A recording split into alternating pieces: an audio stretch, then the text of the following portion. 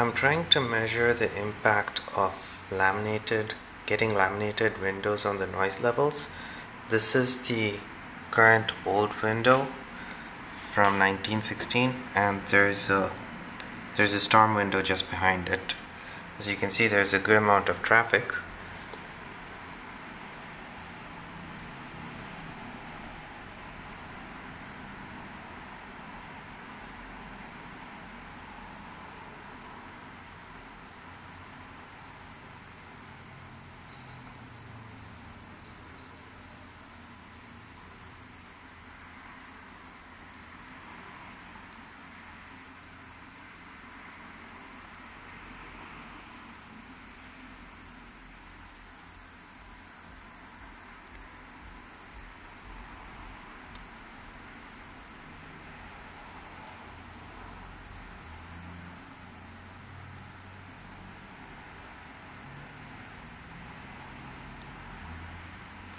the noise kind of stays between the 50 and 60 range.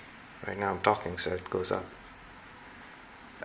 I'm, I took measurements outside and if there's a lot, let me make the video of that as well.